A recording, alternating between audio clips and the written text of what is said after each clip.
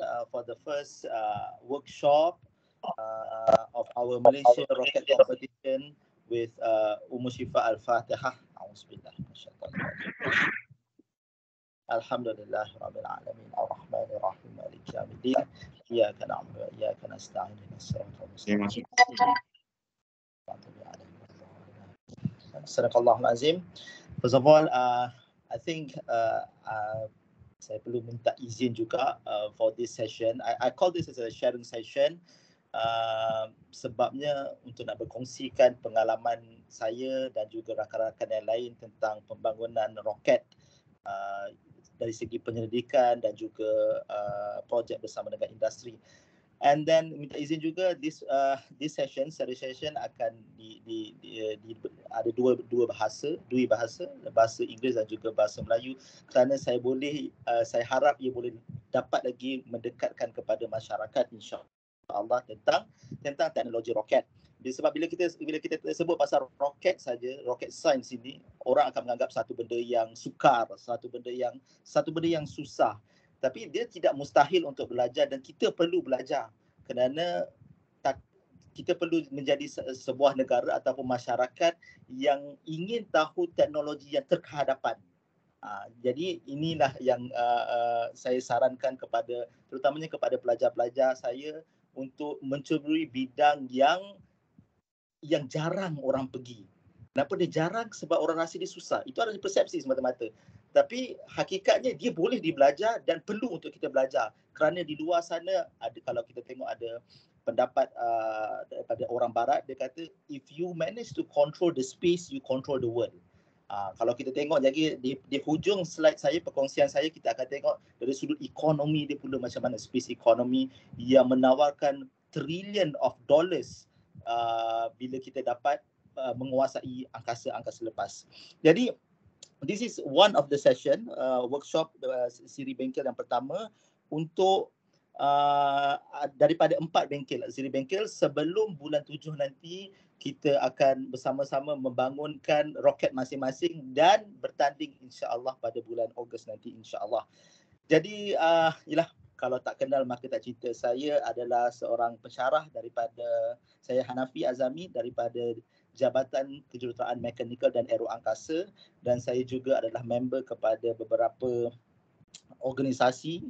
Kita tengok ada CUTE, Center of Unmanned Technology, IUM Rocket Lab.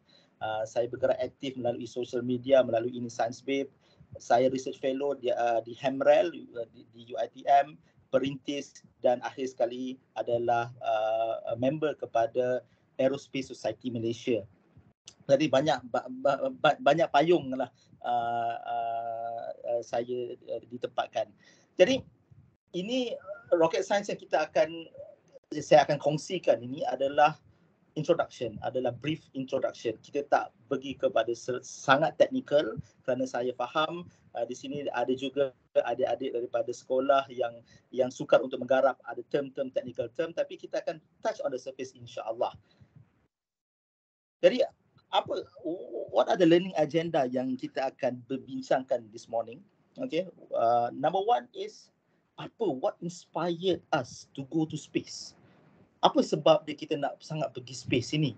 Uh, kita tahu roket ini adalah kenderaan pelancar untuk nak pergi ke space. Buat masa sekarang ini adalah salah satunya method to go to go to, to space. Next what is space science? Space science ni apa? Dia ada terlalu besar space science ini nanti kita akan menjuruskan. Jadi kalau kalau kalau uh, brothers and sisters hadir hadir tengok uh, uh, sharing session saya dia lebih kepada uh, pyramid upside down. Kita akan tengok benda yang luas kemudian kita akan menjurus kepada kepada rocket technology ataupun to be specific a solid propellant. Number two, what are space technologies? Apa contoh-contoh teknologi yang ada untuk space ini? Oh. Kita belajar space science tapi kita nak tengok teknologi pula. And then and then kita akan menjurus kepada what are rockets. Bila kita tengok roket, kita tengok jenis-jenis roket, kita tengok ada beberapa uh, faktor dia, uh, mission dia, pro apa dia punya performance dia. Kita akan tengok itu secara overview. And then sedikit nombor tiga, mathematical formulation. What are the theories behind rockets. Ini adalah untuk supaya para pelajar appreciate apa yang kita belajar, hukum-hukum Newton yang kita belajar, hukum Kepler yang kita belajar uh, matematik, integrasi, semua kamera, apa namanya, integration, differentiation, semua benda tu akan di-apply sebenarnya dalam dalam rocket science. Nombor empat, kita akan tengok roket dalam era moden ini berapa banyak uh, dari segi statistik berapa banyak pelancar, kenderaan pelancar yang dilancarkan setiap minggu setiap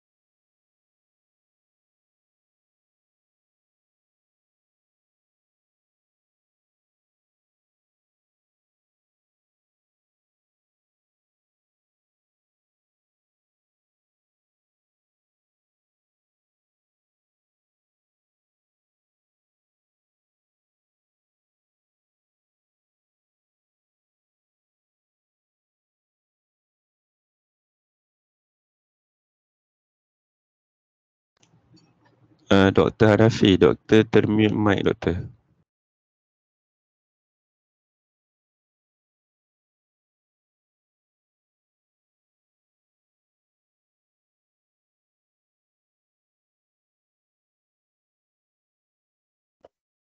Oh, okey, boleh dengar ke? Okey, boleh boleh. Allahu akbar, dah dah banyak slide dah saya tu miss. Okey, okey, okey. Sorry, sorry, sorry. Tak betul. Okay, so I think uh, uh, kita ulang sedikit balik lah. Alright, so kalau kita tengok uh, learning agenda kita ada ada lima je learning agenda which uh, what inspired to go to space, apa yang menyebabkan kita perlu pergi ke angkasa lepas, what is space science uh, sebelum masuk ke roket. Okay, kita kena tahu apa itu space science which is benda yang benda yang luas dan kat mana space is, uh, ataupun rocket science itu terletak. Nombor dua, what are the space technologies? Teknologi apa yang ada dekat space ini? Bukan semata-mata hanya roket uh, uh, space launch vehicle. Dia juga ada teleskop, dia juga ada probe. Dan kita menjurus balik kemudian kepada roket. What are rockets? Kenderaan pelancar itu. Bagaimana teori-teori dia? Bagaimana keadaan uh, mission dia ataupun performance dia yang kita nak tengok mission dia macam mana? Analogi dia, analo, anatomi, sorry analogi pula. Anatomi roket itu sendiri. Kemudian yang ketiga adalah kita akan lebih sedikit teknikal. Uh, saya harap uh, jangan khawatir. Okay, dia kita akan touch pada surface saja. What are the theories? So the mathematical formulation behind this, di mana apa yang kita belajar dalam physics, contohnya uh, hukum Newton, hukum Kepler itu bagaimana kita kita nak terap aplikasikan teori-teori itu ke dalam ke dalam rocket rocket science. Nombor empat adalah uh, berkenaan dengan rockets of the modern era. Kita dapat tengok akan uh, beberapa uh, negara ataupun syarikat uh, space agency yang telah melancarkan uh, kenderaan pelancar mereka setiap setiap hari, uh, setiap minggu, setiap bulan dan setiap tahun kita tengok ada ada sehingga sampai puluhan ribu, puluhan ribu banyaknya. Dan akhir sekali kita kembali balik kepada Malaysian context uh, the perspective and the ecosystem of aerospace di Malaysia. Okay, kalau di sini kita akan tengok aerospace di Malaysia, kita akan cover sedikit pasal aviation, apa company-company dalam aviation tapi itu sedikit kerana uh, aerospace ini dia cover dua, eh, uh, apa yang di space dan juga apa yang di bawah atmosfera. And then uh, jangan uh, uh, dan di hujungnya kita akan tengok ada juga beberapa company di Malaysia juga terlibat sama dalam space space technology insyaallah. Alright. so sekarang apa sebenarnya yang menginspired me? Uh, to uh, for uh, to, to to work in rocket science ataupun rocket propulsion kalau nak to be to be very technical dalam uh, dalam aerospace. Kerana nombor satu adalah kita kita gemar tengok movie science fiction movie dan kita tengok imaginasi dia terlampau contohnya dalam filem Star Trek kan? Okey dia bermula dengan imaginasi kemudian daripada imaginasi itulah datangnya sains dan boleh diaplikasikan. Jadi jadi sebab itu saya saya suka jika student saya atau tuan-tuan dan puan suka berimajinasi yang yang yang yang, yang tinggi yang yang boleh ke kita tanpa roket kita boleh uh, boleh boleh lancarkan objek ke uh, objek ke angkasa lepas? Boleh. Itu start daripada imajinasi. Kita akan tengok nanti ada teknologi teknologi so dari segi fizik dari segi matematiknya boleh tetapi kemudian barulah datang bagaimana kita nak mencari bahan contohnya kabel nak hantar tahu space tower nak hantar ke akan selepas. Ha, itu yang itu yang saya sebutkan tadi. Dari de, kalau datang imajinasi kemudian datanglah mathematical formulation sebab mathematics ni adalah language. Dia lebih kehadapan daripada daripada core science which is physics. Kemudian physics datangnya teori-teori kemudian barulah engineering datang untuk mengaplikasikan teori-teori itu barulah kita kita boleh kita boleh pergi ke situ. Jadi itu inspirasi saya dan kalau tengok dari sudut agama dia pula kita tahu dalam kita sebagai Islam orang Islam ada banyak sangat ayat-ayat Al-Quran di luar sana menerangkan tentang akan selepas tapi tapi hanya sedikit saja daripada kita yang hayatinya. Cuba kita tengok daripada surah Al-Anbiya dari tu, tengok keadaan dia daripada bentuk yang padu. Langit bumi itu keduanya dulu adalah satu benda yang padu. Kemudian kami pisahkan antara keduanya dan dari air kami jadikan. Nampak tak? Jadi kalau kita perasan orang-orang barat Allah dah sebut itu dan dari air kami jadikan segala bentuk yang segala sesuatu yang hidup. Sebab itu kalau tengok orang-orang barat ataupun NASA semua tu mereka pergi ke angkasa lepas orang cari apa untuk nak mengkaji kehidupan yang baru. Orang mencari sumber-sumber air di exo-exo planet. Nampak tak? Ah, itulah dan itu itu salah satunya dan mungkin itulah ada orang juga uh, menafsirkan juga dalam surah Ar-Rahman ayat 33 tu Wahai golongan jin dan manusia, jika kamu sanggup menembusi atau melintasi penjuru langit dan bumi, maka tembuslah. Kamu tidak akan mampu mendembusinya kecuali dengan kekuatan dari Allah. So adakah ini alasan kita bahawa roket itu tidak wujud? Roket itu sebenarnya wujud. Sebab di situ disebut kecuali dengan kekuatan. Jadi ada banyak tafsiran dia kekuatan sama ada dari segi ilmu, dari segi teknologi dan mungkin dari segi kekuatan daya uh, uh, force ataupun trust force lah. Jadi benda ni rocket science ini sebenarnya dia dia dia, dia dikatakan kompleks. Dia tak susah, dia it's not impossible. Dia dikatakan kompleks sebab dia melibatkan banyak sangat bidang yang untuk untuk menghasilkan satu launch vehicle. Dia ada fiziksnya, dia ada chemistry-nya. Kalau biologi mungkin dia akan ada dari segi uh, kesihatan, dia punya fume, dia punya emission dia macam mana. Lepas tu nak develop new technology which is the green propellant, dia menggunakan sumber-sumber sumber-sumber lain biomass dan uh, dan sebagainya. Mathematics of course lah. Alright. Okay. Jadi bila kita wonder ke, ke, di angkasa lepas ada banyak soalan-soalan yang yang belum lagi terjawab sebab itu kita kita nak ke angkasa lepas untuk nak mengkaji benda-benda ini kita akan pergi kepada space science dulu kan kemudian baru kita menjurus kepada roket lah what is the universe made of kita ni wujudnya kita ni bagaimana how do we begin? Bagaimana kita bermula? Nampak? Ini adalah soalan-soalan basic yang masih lagi belum kita belum kita ketahui. Jadi adakah adakah dia memanfaat? Okey, yang kita tengok eh, cuba awak tengok uh, let us see uh, bagaimana James Webb Telescope yang dilancarkan baru-baru ini. Okey, dilancarkan baru-baru ini tak adalah baru tapi dah lama jugalah tahun lepas. James uh, Telescope mereka membelanjakan 10 bilion dolar untuk melancarkan teleskop. It's a very sophisticated telescope tapi dia hanya pergi dekat dekat apa namanya orbit L2, Langgaran 2, dia pergi kat situ untuk nak mencerap masa lalu.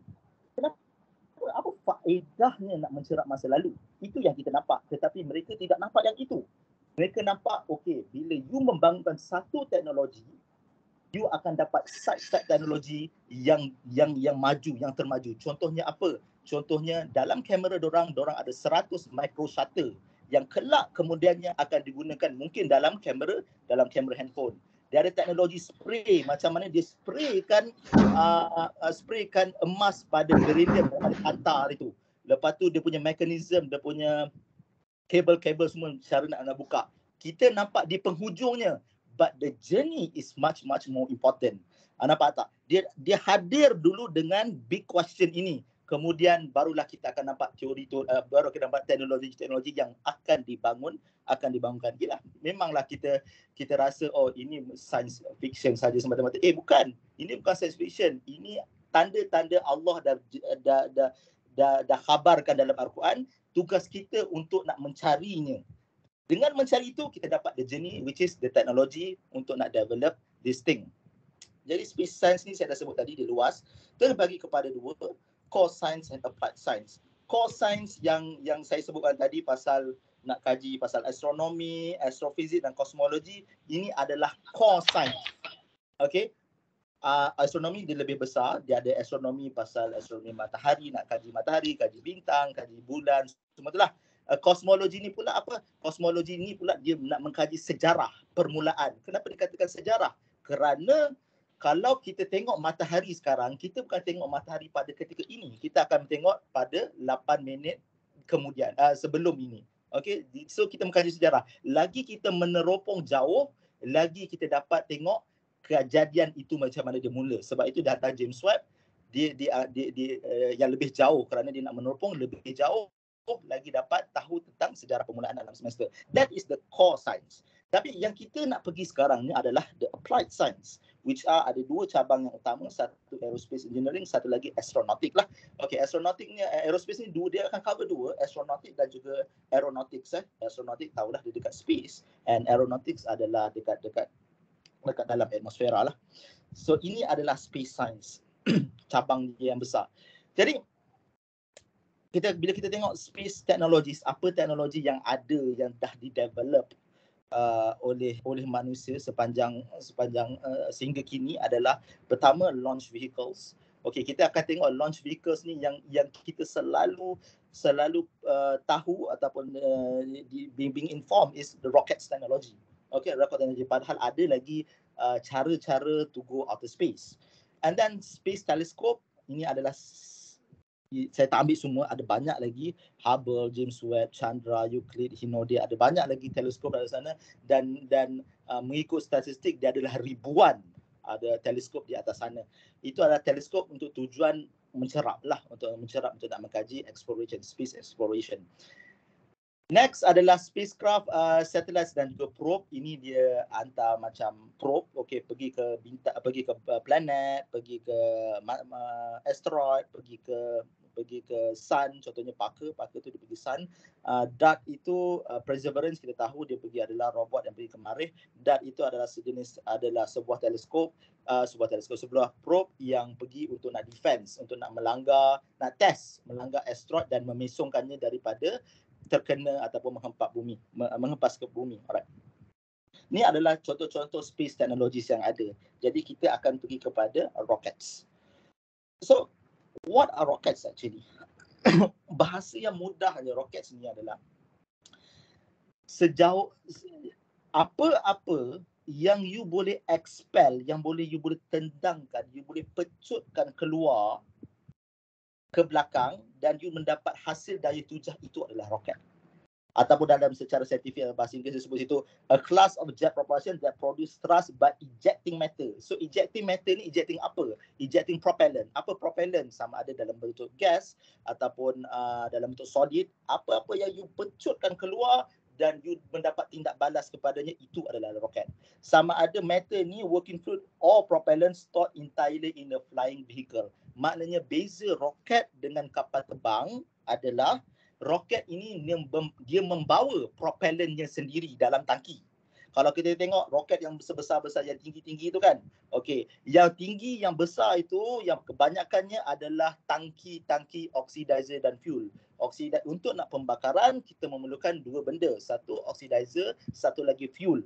Okey, jadi dia uh, propellan ini akan diisikan dalam tangki ini, kemudian akan ada nozzle uh, thrust chamber tempat pembakar dan nozzle untuk dipecutkan dipecutkan keluar. Jadi ada pelbagai pelbagai design of rockets yang kita tengok dan mostly yang kita tengok dekat dekat TV itu yang lancar uh, apa ni man mission hantar satellite itu kebanyakannya dia datang daripada uh, liquid rocket Okay, so liquid rocket uh, lebih lebih sesuai digunakan untuk mendapatkan thrust to weight ratio ataupun thrust yang tinggi lah. Okay, berbanding yang lain. Kalau tengok ada macam-macam design, kalau tengok yang ini Falcon 9 Okay, super heavy ni dia ada banyak, dia ada banyak nozzle, ada ada sampai 32 nozzle uh, yang Starship yang terbaru. Kalau tengok ini adalah disebabkan teknologi yang dibangunkan oleh SpaceX menggunakan reusable. Ni kenapa dia reusable, masuk reusable? Maknanya booster ini, kedua-dua booster ini boleh dikembalikan balik kepada ke atas tanah dan diisikan semula, di refill balik dia punya fuel untuk digunakan sebagai booster. Ini sebenarnya booster. Okey, bila dah habis digunakan, dia akan dia akan dia akan lepaskan ke bawah lah. Kalau yang secara konvensional yang macam negara China yang buat tu semua, dia akan lepaskan ke laut. Okey, tanpa guided dia akan jatuhkan macam tu. Tetapi uh, SpaceX pula dia ada new novel uh, uh, cara yang cara yang bagus which is dia kembalikan balik dan boleh digunakan digunakan semula. So macam macam Marvel, macam uh, macam Marvel sangat. Okay. Alright. Sedikit uh, tentang uh, sejarah latar belakang roket dia dia sangat lama menenteri uh, roket teknologi ini. Sekitar 400 sebelum Masihi lagi. Pada uh, pada awalnya dulu daripada hero Alexandria uh, pada 70 hingga 10 dia dia invent uh, satu satu device yang dipanggil sebagai Eoli pile okey dia dia ada wap air wap air dan dilepaskan ke belakang kemudian dia dapat daya tujah. Kemudian datanglah uh, orang-orang China untuk untuk bangunkan gunpowder untuk berperang. Kemudian datanglah uh, European pula pada tahun 11 uh, 1132 hingga 1006 uh, roket-roket yang lebih detail. Kemudian datang kemudian orang barat pula.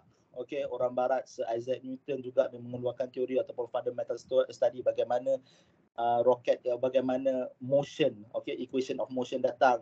Kemudian tahun 19 uh, 1900 ini bapa kepada modern modern teknologi so uh, Tsiolkovsky uh, father of modern astronautics. Robert Goddard pula untuk founder of modern rocketry just saya akan go roughly ya. 1930 kemudian uh, uh, perang dunia dunia pertama. Tadi dia menggunakan teknologi roket teknologi roket untuk uh, untuk berperang especially during the World War II kemudian tahun 1957 ke atas makin banyak lagi orang menggunakan uh, enjin roket ini. Pertama dia nak berlumba-lumba ke angkasa lepas. Again kenapa dia orang berlumba ke angkasa lepas? Sebab yang saya dah sebut sebelum ni space race ini sangat important kerana pertama you control the space you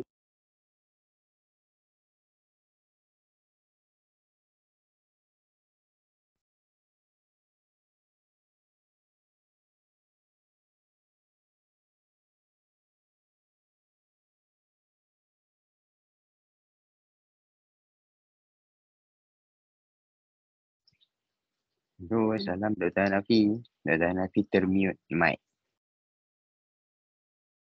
Ha, tapi Dr. Nafi baru je termute. Baru dekat akhir slide ni saya rasa. Before this okay saya.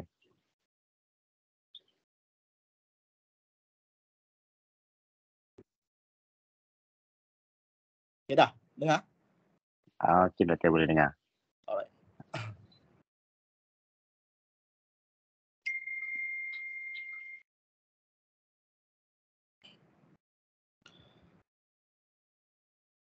Okey, uh, kita akan kita tengok lagi di penghujung nanti kita akan tengok bagaimana Elon Musk syarikat uh, SpaceX itu berebut-rebut untuk nak mendapatkan slot di angkasa lepas yang sekarang dia dah dapat 14,000 uh, dia looking for 30,000 more sebab kenapa? Dia orang nak buat mega constellation. Bila dia dapat mega constellation dia ada Starlink dia dekat setiap sudut penjuru bumi dia akan dapat data.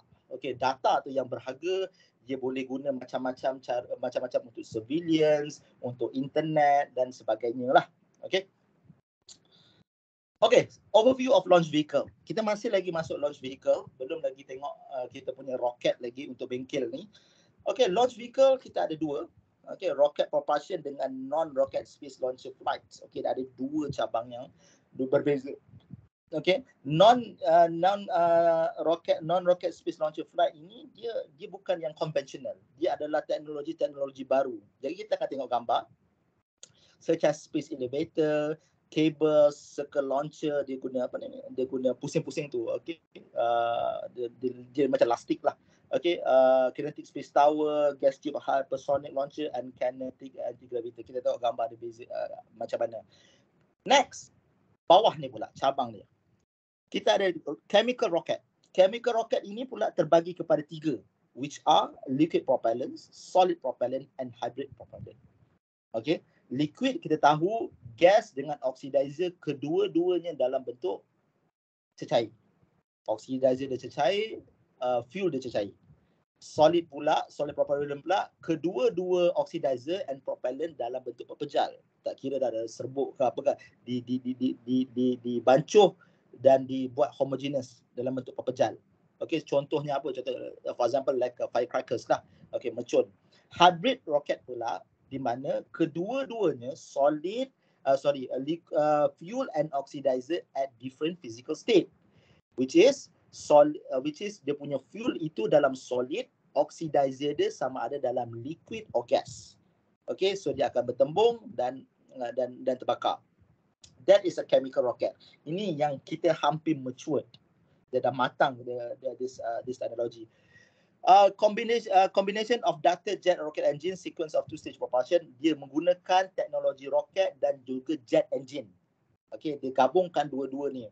Jadi macam contohnya uh, kapal terbang tu, enjin kapal terbang tu untuk dia nak sampai kepada supersonic dia akan hidupkan jet engine dulu daripada zero Mach number kemudian bila one uh, reaches uh, supersonic then it, uh, dia uh, dia buka balik dia turn on the rocket uh, rocket engine.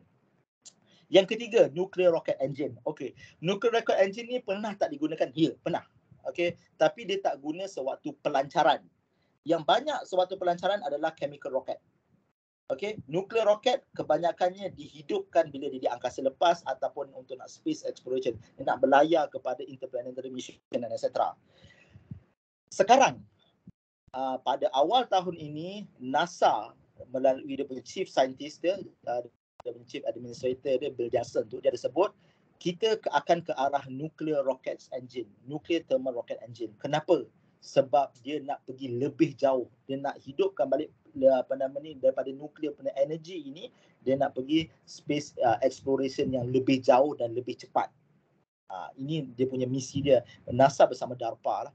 Uh, pada awal tahun ini dia telah announce ini dalam satu conference AIAA conference di Washington hari itu.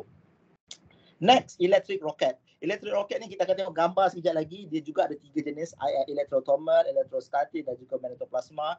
Ini juga electric rocket bukan digunakan sewaktu pelancar. Untuk pelancaran for uh, for the ascend, ascending, dia tidak digunakan sewaktu pelancaran. Dia akan dihidupkan bila sudah berada di di space. Kerana apa? Kerana dia tidak mempunyai daya tujuan yang tinggi. The thrust is so small. But the specific impulse specific impulse jadi kita akan tengok specific impulse terlalu besar. Sebab itu digunakan sewaktu di angkasa lepas. Bila specific impulse besar maknanya dia boleh menjimatkan tenaga untuk pelayaran yang lebih lebih jauh dan lebih lama. Last kali other concept of uh, rocket propulsion system solar thermal dan solar sail kita akan tengok dia macam berlayar. Dia macam kapal layar dia buka dia punya wing dia punya layar sebesar-besarnya dan dia akan berlayar. Kenapa macam mana dia boleh berlayar sedangkan tak ada tak ada udara? Ya, memang dia tak ada udara. Dia menggunakan photons daripada bintang-bintang. Uh, photons tu adalah partikel, partikel daripada bintang-bintang sun ke apa-apa, dia akan menghentam layar ini dan dia terus terus berlayar. So these are the some of the common launch vehicles, chemical rocket. Kita akan kita dah tengok ini uh, oh saya tak masukkan yang terbaru uh, Starship. Ada ada figure yang terbaru sebenarnya Starship dia antara dia yang paling paling besar buat masa sekarang. Uh, ni, ni adalah nuclear rocket. Okay. Electric rocket uh, dia lebih kurang macam uh, macam apa nama tu? Dia macam uh, Iron Man. Okay, Iron Man. Dia saya tengok dia dia tak besar. Awak nampak je dia macam ni tapi dia tak besar. Dia sebesar iPad saja. Dia tengok uh, berapa size power yang diperlukan. Ada yang sampai 20 20 uh, kilowatt macam tu lah. Yang kecil kalau dia kecil tu watt dia lebih lebih kurang. Ini adalah combined ducted rocket yang saya sebutkan tadi. Daripada jet engine and then dia dia, dia menghidupkan rocket engine bila nak pergi ke hal laju yang lebih lebih tinggi. Jadi ini adalah sedikit perbandingan antara chemical rocket yang ada which is uh, antara uh, beberapa jenis uh, engine kita akan tengok kolom yang nombor dua ini adalah chemical rocket turbojet engine. Turbojet engine ni apa? Turbojet engine ni dalam jet fighter lah. Turbojet engine itu adalah turbojet engine. Uh, ramjet engine ni apa? Ramjet engine ni pula adalah engine yang tidak ada bilah kat depan. Contoh apa kapal terbang yang menggunakan ramjet engine? Contohnya Concorde. Okey Concorde tidak menggunakan uh, bilah macam kipas turbo machinery compressor dan juga turbine. Dia tidak ada. Dia, dia, dia lopong saja. Dia hanya ada combustion chamber.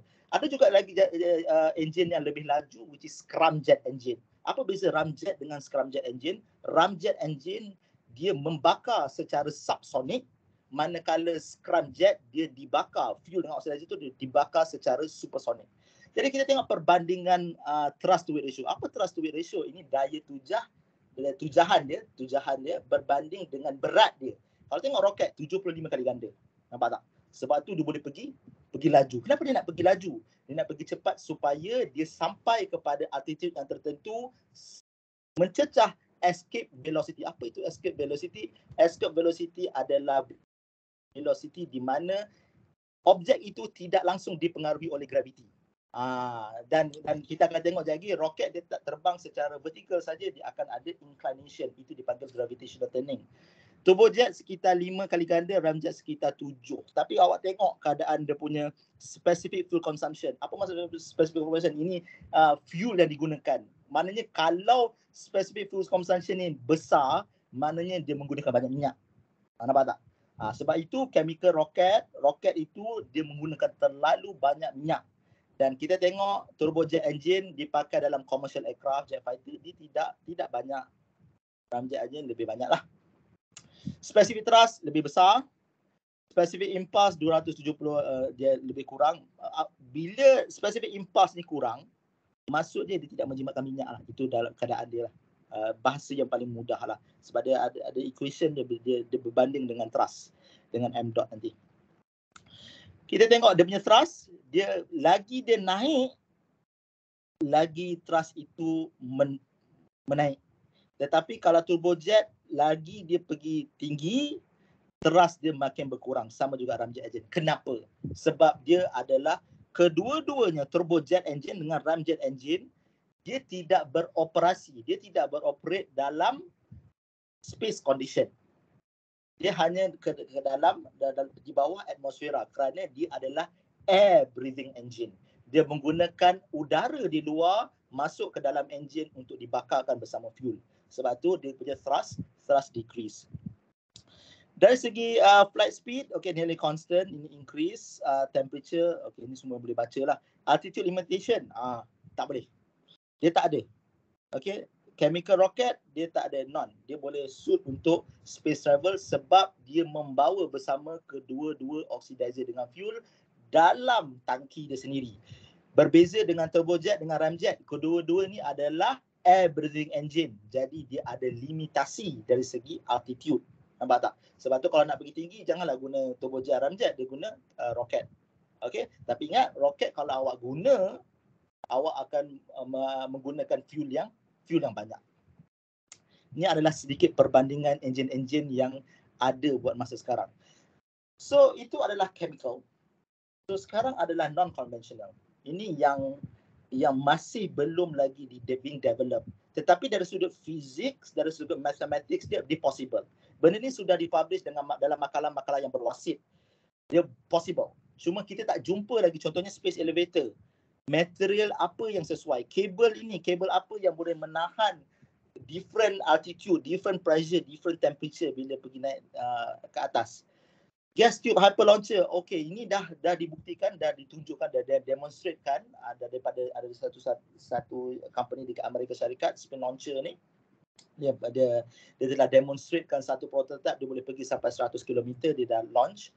Tapi objek lah okey dari segi nak letak payload manusia ataupun instrumentation belum lagi.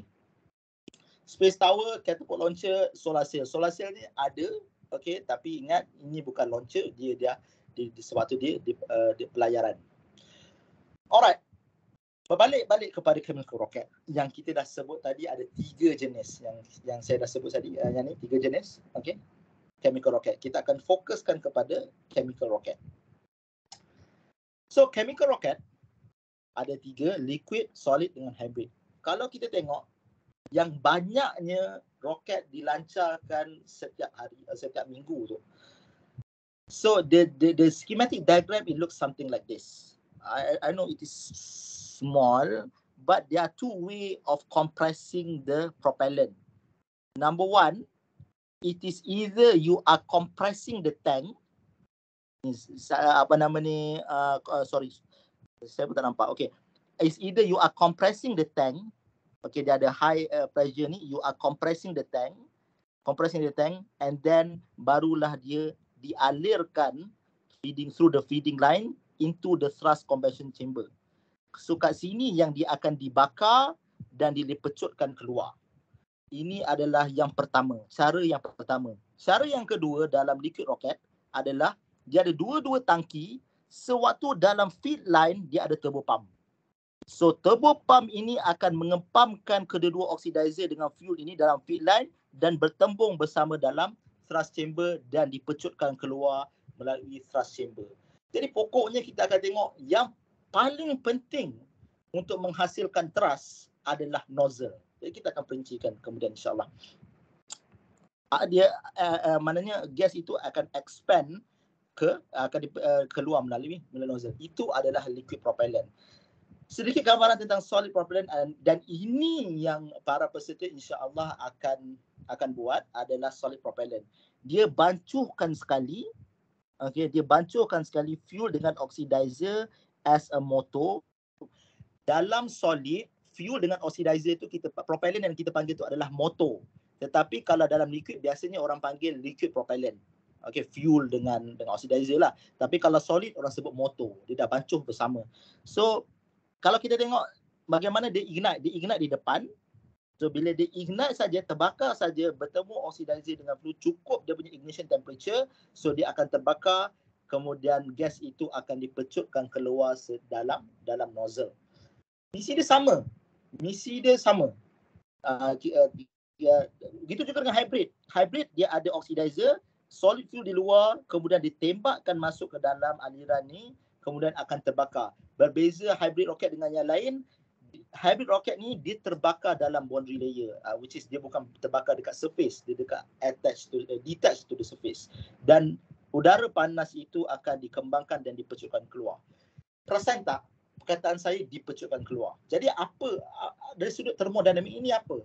Maksudnya tak kira lah chemical rocket ke nuclear ke ataupun electric rocket kesemuanya dia nak menukarkan tenaga haba kepada tenaga kinetik itu secara termodinamik dia. Dia nak mengenukan lagi banyak tenaga haba yang you ada, lagi banyak yang you boleh tukarkan kepada tenaga kinetik. Dan bagaimana dia tukar kepada tenaga kinetik? Melalui nozzle. Cara cara dia buka.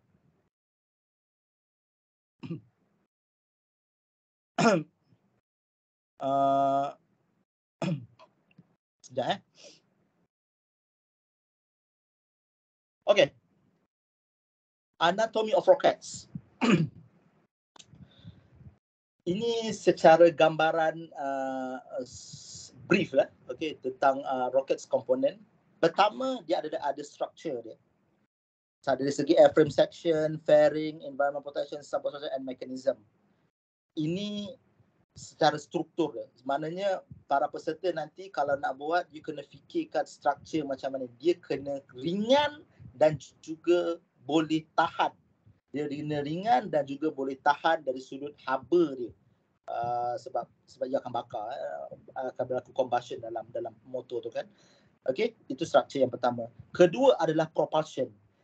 Untuk solid rocket ya kita tak ada tangki fuel dengan oxidizer telah di mix dan uh, kena ada combustion chamber bagaimana kita nak ignite dia ignite melalui ada macam-macam cara satu melalui black powder, nombor dua adalah melalui uh, pyrogen. Okay.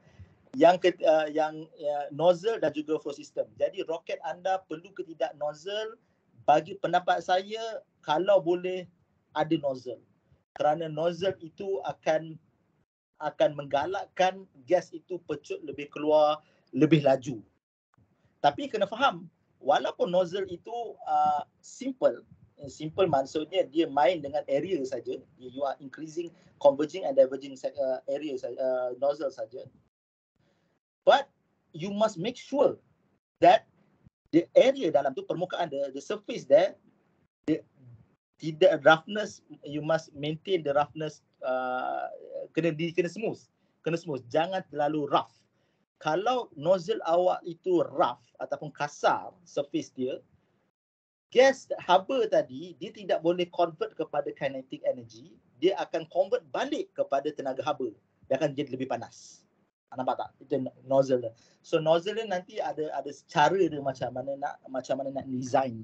Dan cuba kalau kita perhatikan berbeza nozzle roket dan juga nozzle yang ada uh, contohnya di taman nozzle hose kan ataupun kapal terbang itu sendiri tengok kapal terbang kapal terbang menggunakan nozzle converging saja. Dia menguncup saja. While in rocket dia tak, dia menguncup, dia converge and then it diverge. Kenapa? Kerana dia menggunakan gas yang berbeza uh, properties dia. Contohnya dalam kapal terbang dia adalah incompressible flow. You are talking about the speed yang tidak tidak laju sangat. Okay, uh, speed yang tidak sampai supersonic. Sebab itu gas dalam itu dalam incompressible flow. You you you kucupkan dia you reduce the area so you akan increase the velocity. Tetapi dalam rocket you are using converging and diverging nozzle. Kerana apa? You are dealing with gas dynamic high speed flow high temperature high pressure. Dia terbalik.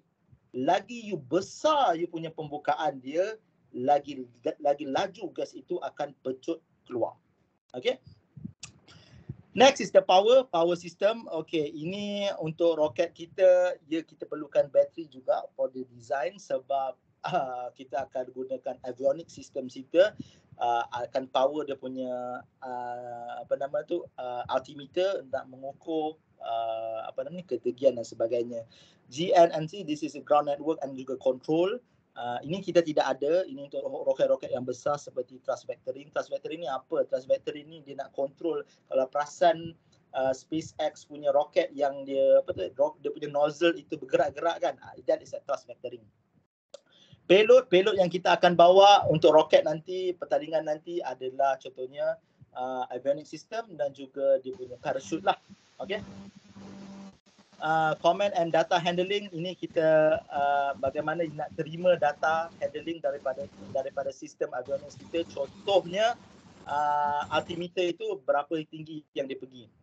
Dengar ke suara saya?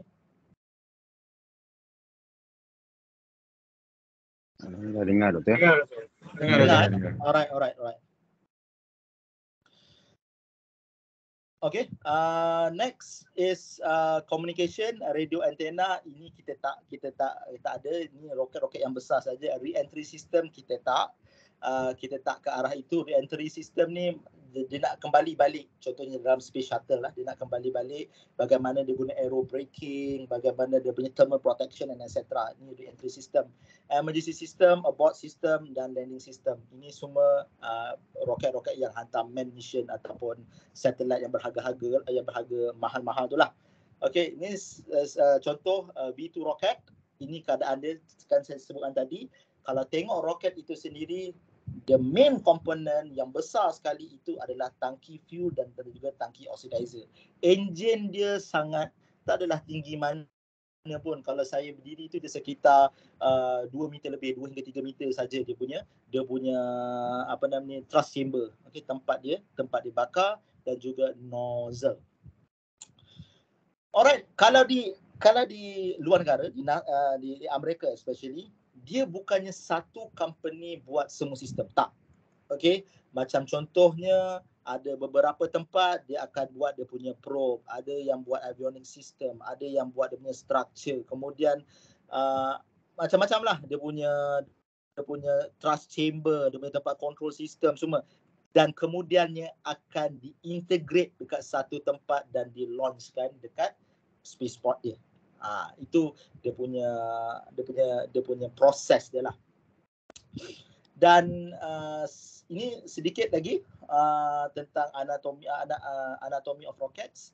Okay, propellant kita nak determine whether dia solid, liquid atau hybrid. So kalau propellant Uh, kalau kalau liquid biasanya dia menggunakan LOX, uh, liquid oxygen, RP adalah rocket propellant, LH2 adalah liquid hydrogen.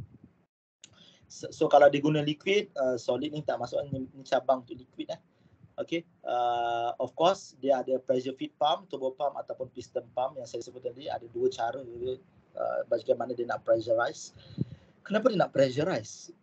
Ya, sebab sebelum dia masuk thrust chamber, tempat dia nak bakar tu, kalau oxidizer dengan uh, fuel itu tidak mempunyai tekanan yang tinggi, maka energi dia pun tak tinggi. So dia kalau dia nak nak dapatkan heat, nak dapatkan uh, heat energy yang banyak, so temperature kena tinggi sebab tu dia bakar dan juga pressure yang tinggi. Okay, sebab tu high T, high P lebih bagus. High temperature, high pressure lebih bagus. Okay, uh, ini adalah dia punya uh, dia punya structure lah sama ada monocoque, semi monocoque, internal skeleton dan ini semua boleh boleh boleh dilihat. Ini dia punya. Are all the rockets the same? Tak. Tak sama. Okay. Yang kita hanya guna, yang biasa kita guna adalah chemical rocket. Yang ke atas-atas sana adalah kebanyakannya electric rocket dan juga nuclear rockets why why rockets is needed? Kenapa roket ni diperlukan? Mission and payload. Kerana pertama contohnya dia nak hantar bekalan makanan ke angkasa lepas. Contohnya dia nak pergi kepada space exploration, nak hantar probe, nak hantar teleskop, nak hantar manusia. Okay. Uh, dan juga untuk sounding rocket. Apa tu sounding rocket? Sounding rocket ni adalah roket yang kita nak lancarkan ini. Sounding rocket ni just a demonstration of rocket to go sampai one uh, certain altitude kemudian dijatuhkan kembali. Uh, itu adalah sounding rocket. Dia just nak tunjuk satu trajectory saja, which is parabolic uh, parabolic trajectory. And then orbit. Orbit pula kita tengok gambar dekat belakang tu. Gambar kat belakang tu kita tengok roket dia tidak lancar vertically upward straight sampai kepada sampai ke atas space ataupun Karman lain. Tak. Dia akan naik tinggi kemudian akan gravitational turning, akan pusing, kemudian naik perlahan-lahan sampailah dia cecah sampai dia cecah escape velocity. Okey, roket juga digunakan untuk nak maneuver. Maneuver apa? Contohnya roket dipasangkan uh, kalau perasan kan roket dia uh, dia bukan lancar straight dan juga satu saja. Dia ada banyak stages. So, yang stages yang hujung tu pun menggunakan roket. Contohnya, contohnya probe tadi tuan. Dia akan hidupkan dia punya roket itu untuk nak pusing ke trajectory yang dikehendaki. Okay. How do rocket works? Ini adalah contoh-contoh parameters yang uh, para peserta kena tahu. Number one, thrust. Berapa daya yang diperlukan? Nak tahu daya diperlukan, kena tahu berapa weight yang diperlukan. Okay, payload dia semua kan. Specific impulse. Ini adalah parameter yang penting. So kalau kalau di di di Amerika itself, kalau in, Amerika, so bila orang menjual orang punya motor, so ada ada different class of motor, class A, kelas B, kelas C. Semua bergantung kepada spesifik impulse dengan trust yang diperlukan. Weight flow rate, uh, ini berapa banyak di, uh, fuel itu akan menyusut keluar dan dipercukkan keluar. Staging pula kita untuk untuk our competition kita tak guna staging, kita just uh, lancarkan sampai accepted altitude dan kita lepaskan. Staging ni contohnya macam kita launch rocket uh, yang NASA buat tu. So mula-mula dia, dia dia lepaskan apa tu uh, dia punya booster dia ke bawah kan. Kemudian second stage. Lepas tu hidupkan liquid punya roket. Uh, lepas tu last kali barulah dia uh, uh, lepaskan dia punya probe. Uh, itu adalah staging. Kenapa dia kena ada multi staging? Sebab tangki-tangki yang telah dihabis gunakan buat apa dia bawa baik dia lepaskan. Jadi dia menjimatkan, menjimatkan bebanan. And then you have a dynamics and control bagaimana dia nak mengemudikan control uh, engine itu sendiri. Apa contoh nak nak kemudikan? Dia kalau liquid rocket apa perasan tak? Kan ada dua tangki bila dua tangki itu dia kena dia punya nozzle bukan nozzle uh, uh, belakang tu dia punya injector injector fuel dengan oxidizer tu dia kena kawal dia kena kemudikan supaya dia boleh bancuh oxidizer dengan fuel itu dalam keadaan yang optimum kalau untuk optimum tu macam mana contohnya dia nak dia nak dibakar dalam rich condition kita kalau pembakaran ni kan ada ada tiga tiga cara kan. Satu pembakaran secara stoichiometric. Stoichiometric ni maknanya bilangan mol fuel yang mencukupi yang sama bukan yang sama ya yang mencukupi yang kalau kita buat uh, persamaan kimia tu bilangan mol yang yang ngam-ngam untuk nak mengimbangkan kimia tu. Itu adalah stoichiometric. Adakah kita bakar secara stoichiometric? Kita dalam roket kita tak bakar secara stoichiometric.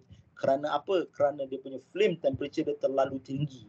Kalau flame temperature terlalu tinggi dia akan merosakkan nozzle dan sistem-sistem yang lain. Jadi normally dalam roket ni kita akan bakar secara rich condition. Apa itu rich condition? Maknanya bilangan mol fuel itu lebih banyak daripada uh, oxidizer kalau lean oxidizer bilangan mol oxidizer lebih banyak daripada daripada fuel so dia nak control benda-benda itulah uh, how do rocket engine works? Pertama, kita kena faham thermodynamic dan nozzle theory. Nozzle bagi saya, nozzle is a very special device. Kerana apa? Kerana dia tak kompleks. Dia tak ada pump, dia tak ada benda-benda yang uh, benda yang sophisticated sangat. Okay? Dia hanya mengawal area saja. Okay? Menguncup dengan membesar. Uh, tetapi dengan device ini dia mampu menukarkan tenaga haba kepada tenaga kinetik. Ah, sebab itu nozzle ni walaupun nampak simple tapi dia tapi dia sangat berkesan untuk memberikan daya tujah. Kita akan tengok tadi sekejap lagi nozzle ni juga ada masalah yang tersendiri. Rocket engine area. Okey, kalau kita tengokkan Starship contohnya, Starship dia menggunakan banyak sangat nozzle. Bila dia menggunakan banyak sangat nozzle, dia akan menyebabkan badan roket itu besar. Bila badan roket itu besar, dia akan create drag. Drag ni maknanya daya seretan. Jadi dia tidak bagus sebenarnya untuk untuk untuk roket. Tapi kenapa Starship ni uh, menggunakan uh, banyak nozzle? Kerana dia nak mereducekan panjang nozzle itu. Kalau dia guna banyak nozzle, panjang nozzle itu, the length of the nozzle can be reduced. Ah, tapi dia punya circumstances dia kesan dia dia perlu ba, ba, tangki yang tangki yang besar. Itu itu uh, salah satu kesan dia lah. Uh, nozzle design, okay nozzle design dia ada macam-macam jenis nozzle yang kita tengok yang biasa converging diverging nozzle. Kita juga uh, ada aerospike nozzle. Uh, bentuk aerospike nozzle. Uh, tapi itu uh, far more advanced lah, tak apa kita kita akan pergi. Uh, rocket engine design okay rocket engine design ni maksud dia contohnya kalau solid propellant awak punya propellant itu dia punya okay kita kita tengok solid propellant kan dia ada lubang tengah itu dipanggil perforation so geometri dia nak buat macam mana berapa besar yang nak dibuat okay kalau you buat terlalu kecil terlalu sempit dia akan mendatangkan masalah di mana dia tidak boleh cukup tekanan untuk nak bakar. Okey, kalau dia besar kemudian itu pun yang jadi masalah. Dan so itu yang kena kena calculate dari segi dia punya besar perforation dan juga length of the nozzle and uh, length of the propellant. Alright. Okey, uh, ini agak sedikit technical. Uh, bear with me tapi saya tak pergi terlalu details, just a surface. So ini adalah matematik di sebalik rocket science yang umumnya uh, para peserta kena ketahui lah beberapa relation yang asas. Okey, kita tahu roket dia terbang jadi jadi masuk matematik dia. Okey. Kita tahu roket akan terbang dia tak pergi terus naik ke atas. So dia pelan-pelan naik naik naik. Kemudian bila dia dah sampai escaping velocity, dia nak tukar orbit sebab itu dia tembak lagi sekali uh, nozzle dia, bakar lagi sekali nozzle dia. So bila dia dapat new velocity, maka dia akan terlari. So bila dia terlari, barulah dia boleh kejar, kejar satellite lah contohnya. Ini adalah salah satu mission lah. Sama juga dengan ni. Okay, uh, mungkin uh, adik-adik sekolah uh, uh, belajar tingkatan 4, tingkatan 5 ada Hoffman transfer kan. Okay, ini cara bagaimana roket nak transfer daripada satu orbit kepada orbit yang lain. Okay, trajectory. Uh, Hoffman transfer adalah adalah cara yang menggunakan tenaga yang paling minimum. Ini adalah uh, schematic diagram. Okay, fuel oxidizer terassemble dan dipercutkan keluar. Ini adalah converging diverging nozzle. Dia converge dan dia diverge. Bila dia converge, yang area yang paling minimum itu dipanggil throat. Okay, throat. Dan yang besar itu adalah uh, uh, diverging, diverging section. Dan diverging ni boleh juga you all buat bell okay, bell nozzle ataupun cone, cone nozzle. Okay. So ini adalah dia punya sekitar graf dia sikit lah. Okay. Perhatikan api yang dibakar pada setiap roket itu. Okay. Perhatikan api yang dibakar. Ini sedikit uh, ilmu yang yang adik-adik perlu tahu. Yang kita design, yang kita nak adalah yang kanan ni. Apa maksud kanan ni? Api itu, gas itu dalam nozzle, dalam thrust chamber, okay, di, dikembangkan secara ngam-ngam being expanded secara ideally. So api yang dia keluar macam ini. Cantik saja. Bagaimana nak nak dapatkan keadaan macam ni? Sewaktu kita design we assume that the exit pressure equal to the ambient pressure.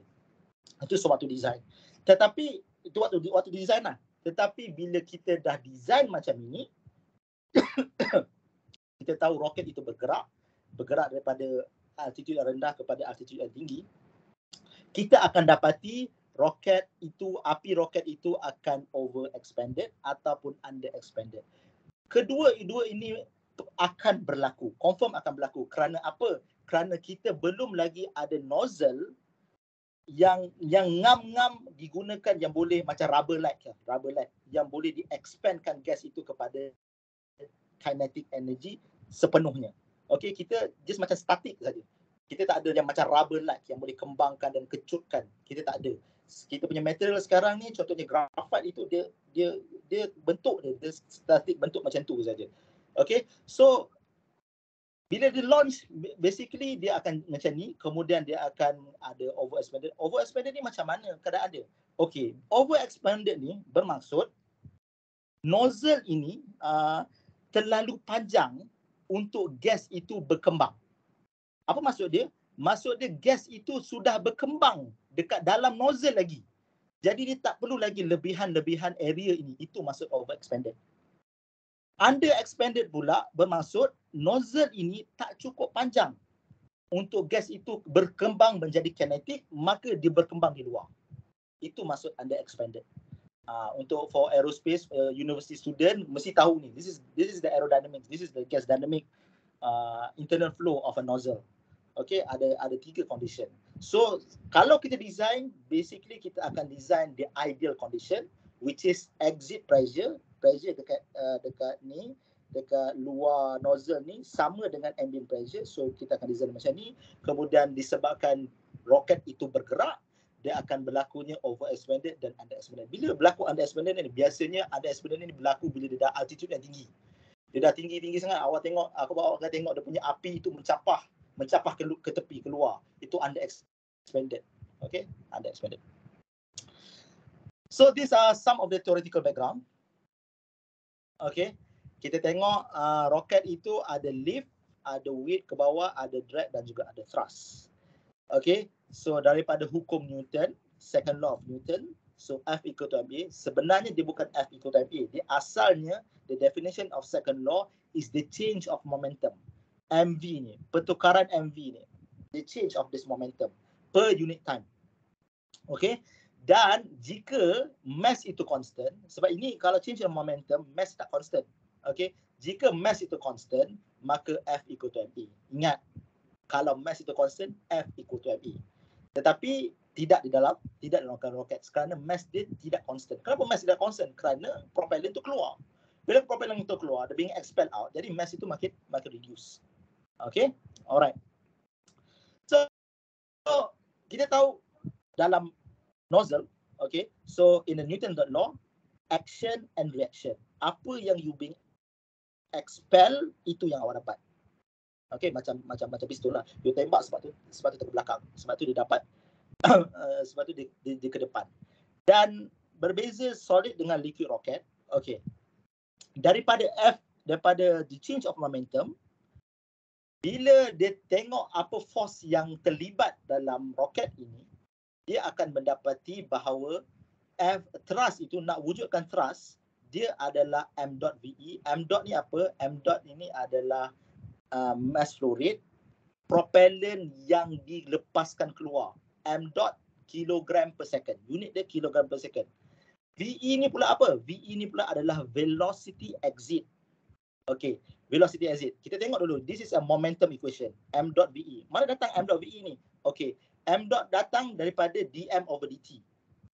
Okay, VE adalah velocity exit. Okay, so M dot VE. This is a momentum equation. So untuk nak dapat roket yang mempunyai thrust yang besar adalah sama ada you expel out the M dot, the kilogram per second, propellant yang banyak tu, kilogram per second besar tu keluar ataupun you keluarkan pada hal laju yang tinggi which is velocity exit yang tinggi. So this is the momentum equation. Apa pula datang benda lah ni? PA ni. Okay, ini adalah imbalance pressure. Apa maksud imbalance pressure? Ini adalah daya yang dihasilkan bila you dapat pressure yang berbeza dekat belakang ni. So dia juga contribute to the to the force. So maknanya di sini apa? Kalau exit pressure ni exit pressure sama dengan ambient pressure. PO adalah ambient pressure. So benda ini adalah kosong. So bagilah value apa? So benda ini kosong. So untuk trust dia hanya memainkan peranan ini saja bila PE sama dengan PO. Tetapi dalam dalam in reality dia tak dia tak dia tak boleh sama. Untuk design you kena samakan. Tapi in reality dia tak sama. Jadi bila dia tak sama itu juga contribute kepada thrust. Itu adalah solid rocket. Untuk liquid rocket pun sama juga. Saya dah sebut tadi, dia sama. Konsep dia sama. Dia adalah daripada tenaga, tenaga haba kepada tenaga kinetik. So benda yang you pecutkan keluar, M dot yang tinggi ataupun VE yang tinggi, kemudian adalah imbalance pressure. Tekanan yang tidak seimbang. Okay, tekanan yang tidak seimbang juga contribute kepada kepada thrust. Let us focus dalam solid rocket. Again, ni secara roughly saja. Okay, uh, benda-benda ni semua uh, dalam dalam software nanti dia dah kalkulatekan. Okey, dia dah kalkulatekan. Cuma in this workshop kita nak tahu asas dia. Memanglah kita calculate, kita just click click click click fine. Tapi kita nak tahu what are the rationale behind this. Okay. So you ada ejector. So ini adalah propellant dan dipecutkan keluar. So dia macam mercut jugalah. So kita akan tengok dia punya thrust akan memuncak dulu kemudian dia akan dia akan jatuh. So kalau tengok bila sounding rocket yang you all akan tembak tadi dia tidak last for banyak-banyak second pun. Dia below dan 10 second dia akan dia akan dia akan tembak. So yang saya kagumnya adalah dia punya nozzle tu sendiri. Tengok daripada nozzle ini macam-macam parameter yang kita akan tengok mass flow rate itu yang penting exit mark number exit mark number ni maknanya berapa pencapaian dia AE adalah exit area, A star adalah area pada throat, throat area dia. So berapa besar expansion ratio you nak you nak buat. You ingat, okay, kalau you expand besar-besar, bagus. Tetapi dia akan menyebabkan flow separation inside the inside the nozzle. Maknanya flow separation ni maksud dia apa? Kalau boleh kita nak flow tu dia attach dekat surface of the nozzle. Ha, kalau you mencapah terlalu besar, dia tidak attach. Bila dia tidak attach, dia tidak kembang. Bila dia tidak kembang, you are losing trust. Ha, jadi sebab itu the expansion ratio mesti mesti kira dengan sebetulnya mengikut this relation. Gamma ni apa? Gamma ni adalah specific heat ratio. Apa tu specific ratio? CP over CV. Apa CP over CV? Ko, ko, uh, CP adalah uh, apa nama dia specific at constant pressure.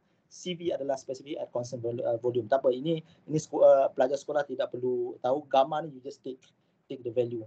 Exit temperature, exit temperature temperature dekat luar. Itu yang kita nak. Berapa temperature dekat luar? Kalau boleh kita nak tinggilah. Okay.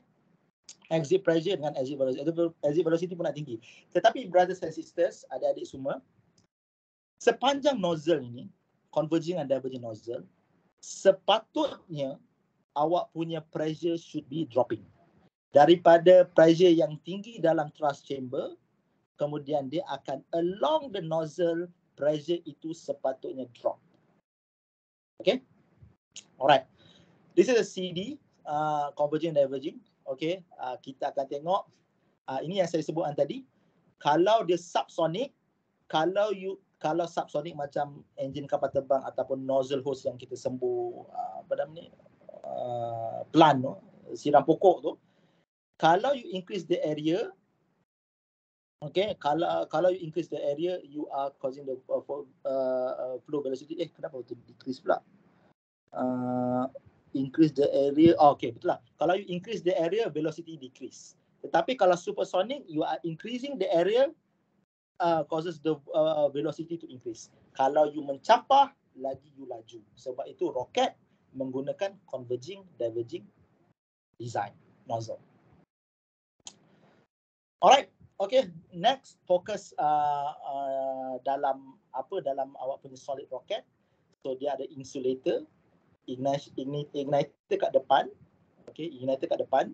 So dia ada insulator uh, dalam dalam rocket awak tu inside your uh, uh, apa namanya rocket tu you ada you kena balut dengan insulator supaya dia tak terbakar uh, dia punya casing lah. Okay, and then you have green support and then you have a nozzle.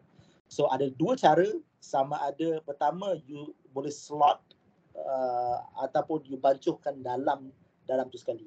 Tetapi saya difahamkan for this competition the motor uh, diberi oleh pihak penganjur. So you kena fikir macam mana you want to design untuk nak slotkan awak punya motor itu dalam dalam roket. Dan pembakaran untuk solid rocket adalah sama ada regressive neutral dan juga progresif. Apa maksud ni? Regresif ini maksudnya by time pass, thrust itu makin menurun, neutral the constant, progresif makin lama dia memecut. Normally dalam solid ni dia adalah regresif lah. Dia semakin semakin menurun. So ada beberapa cara. Satu kita bakar secara belakang, this is end burning. Kita bakar badan. Lagi satu dia bakar secara tengah-tengah. Okay, progresif.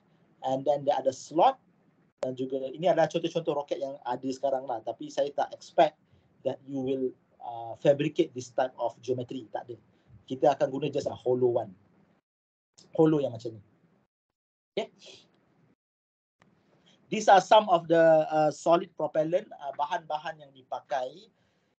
Kita tak ajar awak bancuh. Kita just nak bagi tahu bahawa dalam uh, solid motor okay kita akan ada binder yang mengikatkan dia plasticizer dan juga solid oxidizer dan fuel yang dibancuh. Okay, binder ni yang mengikat dia. So ini adalah contoh-contoh binder dia. Okay, uh, HTPB. HTPB adalah hydroxyl terminated polybutadiene. Adalah contoh-contoh dia. Plasticizer, uh, ini contoh dia. Dan solid oxidizer dan fuel. Okay, uh, aluminium, uh, ammonium perchlorate, potassium, uh, semua ni lah. Okay, ini adalah contoh-contoh dia punya uh, gabungan. Kemudian kalau kita bandingkan dia punya oxidizer, of course dalam solid motor itu ada fuel dan oxidizer. Ini adalah fuel, solid fuel dan oxidizer. Ini adalah contoh-contoh oxidizer. Dia ada ramuan dia, ada percentage dia di mana uh, oxidizer berapa persen dan fuel berapa persen. Okay. Contoh-contoh oxidizer yang digunakan dalam solid motor pertama ammonium perchlorate, potassium perchlorate, sodium perchlorate dan ammonium nitrate. Okey, antara banyak-banyak-banyak ini mana yang terbaik? Okey, dia tengok juga oxidizer content. Okey, kalau tengok bila oxidizer content ni maknanya oxidizer dia banyak lah. Okey, cumanya ada yang low cost, ada yang high performance, ada yang low burning rate, performance. Dia dia kalau boleh kita nak high regression rate. High rate medium burning rate tu kita nak kita nak tinggi. Kerana apa? Kalau you fuel itu boleh burn dengan lebih pantas maka dia boleh maknanya dia boleh bakar lah bakar dengan cepat. Bila dia bakar dengan cepat maka temperature dia boleh naik dengan dengan tinggi. So jadi tenaga haba yang banyak. So bila tenaga haba yang banyak mempunyai banyak tenaga untuk ditukarkan kepada kinetic energy. Okay ini adalah sedikit sebanyak uh, yang kita dengar selama ni adalah NASA TRL saja, Technology Readiness Level. Kita juga ada Integrated Readiness Level. Ini bila kita gabung-gabungkan. Uh, I won't just, uh, discuss this much in detail. Tapi kalau boleh kita nak in the middle pathway, a pathway to success. Bukan semata-mata TRL tinggi tetapi IRL yang rendah. Ataupun IRL yang tinggi tapi TRL yang rendah. Kita nak kalau boleh in, in, the, in the middle. Okey, kita dah hampir kepada penghujung. Uh, pertamanya uh, kita akan tengok apakah rockets of the modern era. Apa yang ada untuk masa sekarang. Okey. kita ada banyak agencies, not just NASA, ada ESA, European, ada France, ISRO, Iran, Israel, JAXA dan lain-lain. Saya rasa setiap kebanyakannya kebanyakan negara ada their own space agency. Cuma aktif ke tidak. Ia bergantung kepada how the uh, how the government support this space agency. Engine manufacturers, these are some of the few, SpaceX, Ariane, Aerojet, uh, Mitsubishi, Safran. Nah, Safran ni uh, adalah company yang banyak menghasilkan atau membuat electric rocket. Safran. Uh, Blue Origin kita selalu dengar, Virgin Galactic. Virgin Galactic adalah industri uh, company yang membuat hybrid rocket teknologi. Rocket Lab dan juga Northrop. Kalau pras, uh, sini tak ada Arian, oh, ada Arian, uh, Arian nombor dua. Okay, Arian, Ar, contohnya satu company Arian ni, Arian ni adalah company di Eropah, Arian, Arian Group uh, di France dan di Germany, dia ada dua, dua tiga tempat, okay, dan dia integrate, uh, dia, dia integrate di Vernon di, di, di France. So uh, ikut ikut mereka, okay, untuk satu rocket engine yang diorang develop uh, satu tahun, satu tahun orang boleh produce at least 16 atau 17 rocket engine. Orang boleh buat, orang boleh buat. Maknanya termasuk semualah uh, test firing and etc lah. Okay, so itu Arian. Tapi SpaceX dia agak lebih laju. SpaceX agak lebih lebih laju uh, dan uh, dengan teknologi yang ada sekarang, contohnya Rocket Lab, ada lagi satu company saya dah lupa satu company, dia nak print semua engine rocket, semua komponen pada engine rocket. Ah, ada ada satu ada satu company tu dia nak print semua. Dia daripada 3D printer lah tapi metallic lah. Okay. Uh, ini, ini adalah statistik yang agak lama tahun 2018. Kita tengok United States besar dia punya expenditure dalam dalam space space program. China tapi untuk tahun 20, 21 dan 22 China is catching up. Dan kalau tengok China dia lebih banyak launch daripada Amerika untuk beberapa tahun yang lepas. Ini pada tahun 2020 dan tahun 2018, uh, China, multinational, Russia, UK, Japan, and etc. Kalau kita tengok dia uh, uh, dia launch dia, dia lancar dia launch banyak kepada satellite for commercial, government, mixed use, military and and civil.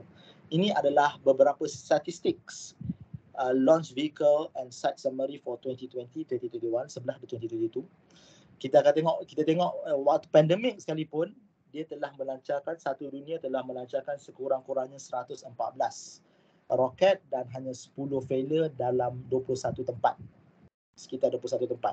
Ah tengok Falcon X 25 atau CZ. CZ ni adalah China, China China punya uh, roket 25 juga. China ada banyak tempat uh, uh, few places uh, launch Zhejiang, Jiuquan dan juga uh, Wenchang. Ini tahun 2020. Tahun 2021 CZ mendahului Falcon 9. So dia lebih tinggi. Dan ada beberapa tempat uh, China sangat aktif untuk launch. Tengok dia dah sepas sepas United States 45 dan dua hanya dua saja failure. Ini adalah mission dia LEO ke ataupun above LEO ke ataupun deep space. Okay, 118 hingga uh, 7 failure. 19 sites. Untuk history daripada tahun 1942 hingga tahun 2022 you can see that ada 73,000 lebih yang pernah di-launchkan. Okay, tak kira lah sama orbital launch ke, uh, field to orbit ke, suborbital ke, mesospheric ke, endo atmospheric ke atau juga pad explosion. Dah 73,000. Dan so ni tak semestinya launch manusia. Uh, just launch secara test flight ke apa-apa benda lah. Okay? Ini untuk orbital launch. Ini adalah yang launch dan satellite. Okay satellite 6600 uh, 6016 success rate 092 sebenarnya success rate untuk jika dibandingkan success rate untuk roket dan juga kapal terbang roket ni agak rendah berbanding kapal terbang. Kapal terbang sekitar 0.98 demi success rate. Maknanya uh, segi 0.99 juga boleh cecah uh, roket ni agak rendah. Jadi dia sebab itu dia masih lagi berisiko dan ada banyak peluang untuk improvise. Tempat-tempat pelancar adalah kalau perasan dia adalah sekitar di ekuator. Okey, sekitar ekuator kenapa kerana uh, untuk pengetahuan brothers and sisters di di ekuator bumi bergerak lebih laju.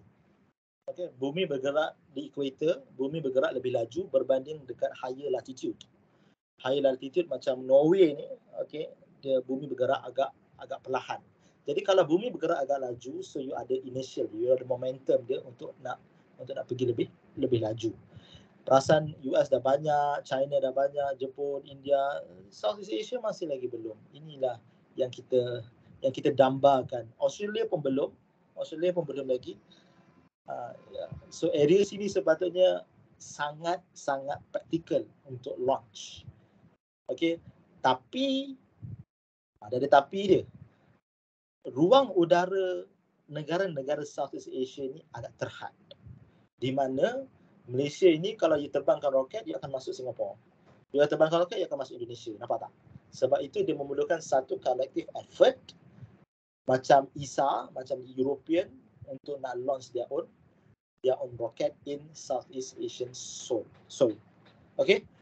Dia ada vertical launch, dia ada juga horizontal launch. Horizontal launch ni macam mana? Dia naik atas kapal terbang, atas kapal terbang kemudian dihidupkan dia punya roket dan launch. Itu adalah horizontal horizontal launch. Yang orange horizontal launch, yang merah vertical launch. Mostly yang latitude yang agak tinggi ini dia agak dia pergi mission polar orbits. Okay, polar to polar, pole to pole. Okay, so kita kembali last. I, I think this is some uh, this uh, part yang last. Apa yang ada di Malaysia setakat ini dalam aerospace. Okay, ini adalah aviation, ini adalah aeronautics. Ini adalah beberapa company yang telah yang daripada kecil yang seterhad ini kemudian dia telah expand dengan dengan banyaknya. Okey? Ini adalah Malaysian space related industry. Kalau kita perasan uh, apa ni dasar angkasa negara dan juga uh, strategic plan angkasa daripada MOSTI kita dapat tengok ini adalah contoh-contoh uh, industri yang kita nak terlibat okey. Uh, terlibat uh, bidang-bidang terlibat dan perasan atau tidak hanya sekitar 30 company lebih saja yang yang yang related untuk space exploration. Tetapi kebanyakan mereka adalah more on satellite development. Sebab itu saya sarankan ataupun saya galakkan saya ajarkan untuk develop talent supaya kita boleh ada space launch vehicle sendiri. Sebab kita perlukan ekosistem yang besar di mana kita cukup uh, expert talent expert talent untuk membangunkan roket sendiri kepakaran sendiri barulah kita boleh buat satu industri untuk launch vehicles. Untuk buat masa sekarang adalah sekitar satellite development dan satellite development ini uh, kita sudah mahir kita buat sendiri satellite tetapi bila kita buat sendiri satellite kita perlu menumpang orang lain untuk untuk launchkan untuk kita. Itu agak agak agak uh, agak terkebelakang sedikit kerana apa? Kerana bila kita nak menyuruh uh, uh, launch company untuk launch kita punya satellite sendiri ada beberapa information yang terpaksa kita revealkan. Contohnya teknologi-teknologi apa dalam satellite yang terpaksa kita revealkan kepada launch vehicle provider. Okey, ini adalah uh, sedikit ekosistem yang ada dekat dekat Malaysia, aerospace manufacturing dan MRO, ada training, research uh, dan juga e-, education, uh, training and education, government yang support, agency yang support, yang yang bridgekan between industry dan juga research institution like like universities. In terms of space economy, okay, ada tiga ada tiga cabang yang utama. Uh, sebab saya rasa dalam ni ada juga daripada daripada agensi uh, agensi kerajaan so saya nak masukkan sedikit space economy ni kita ada upstream downstream dan juga space giraffe activity upstream ini adalah more kepada research ataupun exploration kita nak tengok applied fundamental applied research apa nama ni fuel apa yang yang digunakan structure yang macam mana yang kita nak gunakan nozzle design macam mana yang kita nak gunakan those are the upstream upstream space upstream space vector downstream space vector juga apa apa yang berlaku dekat ground okay, macam mana you nak communicate, okay, communication, your data analisis macam mana, itu adalah support system ataupun ground system yang yang yang perlu juga kita bangunkan, bukan semata-mata yang dekat atas saja eh. Okay, and then space derived activities adalah adalah uh, produk-produk hasil sampingan kedua-dua ini. Ha, sebab tu saya daripada awal tadi saya sebut kenapa nak bangunkan James Webb Telescope, kenapa nak pergi angkasa lepas, bukannya ada emas pun angkasa lepas tu kan. Ha, tapi kita tak tahu yang the technology that they develop boleh juga digunakan dalam space derived activity on other sector. Okay, kalau tengok space uh, ekonomi juga, kita apa nama ni ada beberapa dua ada satu buku dia panggil Space Economy uh, yang dikarangkan yang dikarang oleh Simonetta di Pipo tajuk dia Space Economy. Dia kata apa? Dalam buku tu dia kata apa? Dia kata a bank of America American dia project it would bring the value of 1.4 trillion dollar pada tahun 2030 dalam space economy ah itu itu yang kita tak nampak. Dan dia punya dia punya kenaikan itu setiap tahun contohnya daripada tahun 2005 hingga tahun 2020 global uh, uh, global space economy reaching 447 bilion daripada tahun 2020 so dia ada kenaikan sebanyak 176% uh, ikutkan ikutkan buku itulah jadi semua ini dipacu oleh apa? Oleh dipacu oleh RR 4.0 So bila you ada angkas, bila you ada satellite communication dekat atas tu untuk internet, dia akan menggalakkan IoT, Internet of Things. Contohnya macam Tesla developing apa nama tu, yang autonomous car semua kan. Semua benda tu perlu communication antara antara ground dengan dengan dengan dengan satellite communication kan. Uh, sebabkan itu benda itu perlu flourish. Jadi jadi dengan sebanyak ini takkanlah Malaysia nak ketinggalan. So kita kena start something, doing something, develop the talent untuk nak supaya tidak ketinggalan.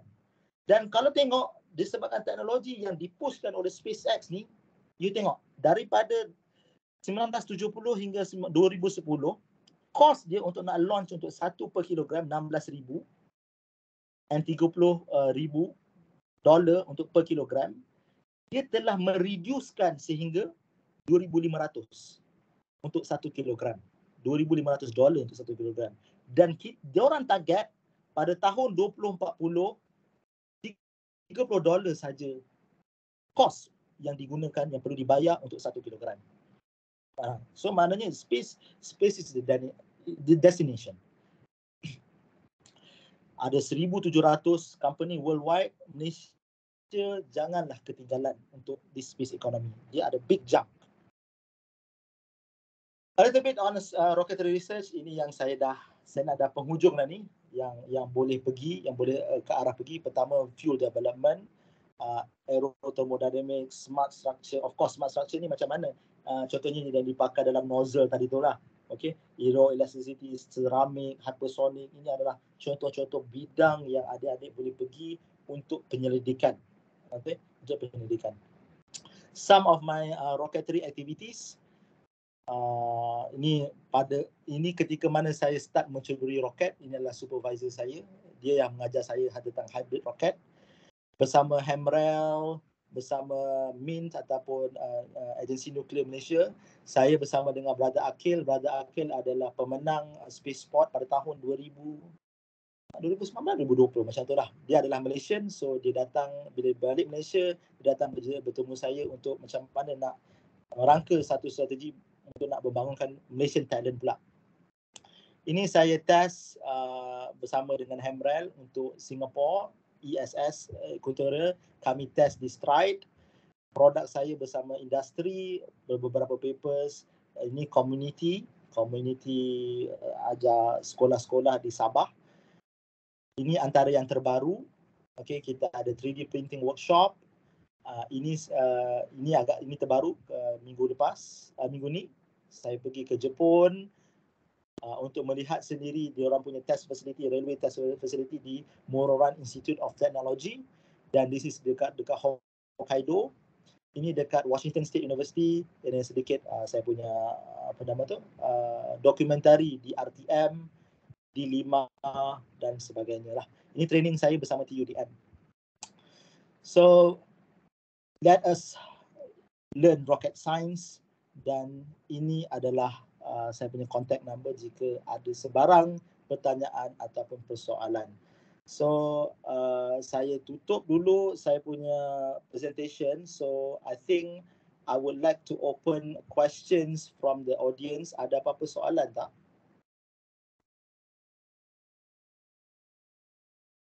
Ada apa-apa pertanyaan ataupun kemuskilan?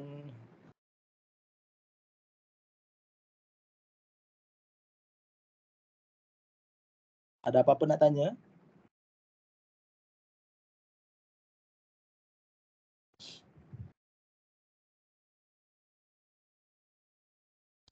Uh, Assalamualaikum warahmatullahi wabarakatuh. Salam.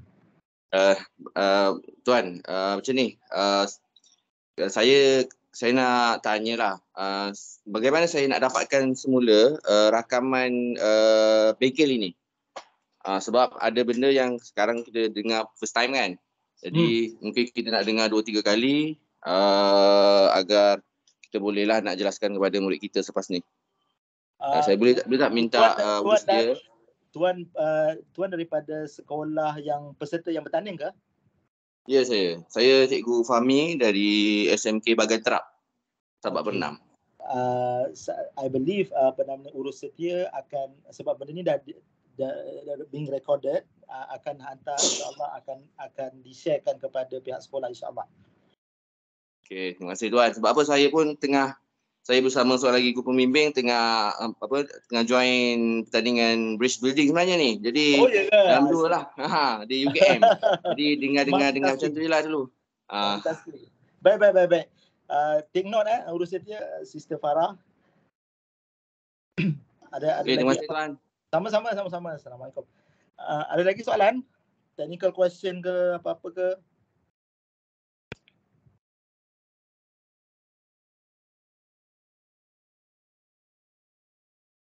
daripada para peserta mungkin daripada student pelajar-pelajar universiti ada apa-apa nak tanya?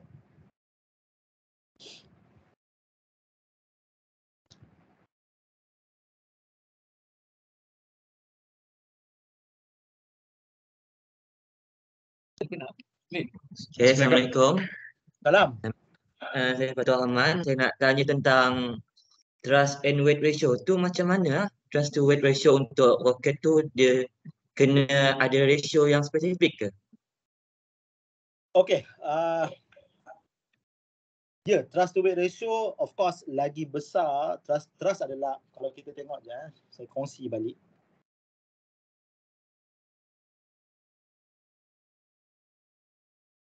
Saya kongsi balik dia punya forces of rocket.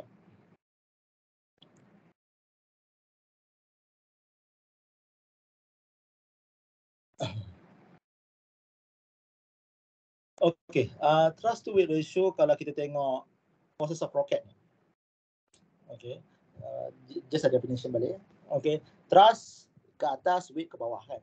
Okay, kalau trust to weight ratio tu tinggi, lagi bagus lah sebab dia boleh terbang. Kalau you dapat satu tu, tak, tak nak terbang tu. Jadi untuk roket awak ni, untuk dia nak terbang, trust to weight ratio kena lebih daripada satu. That's, that's a must.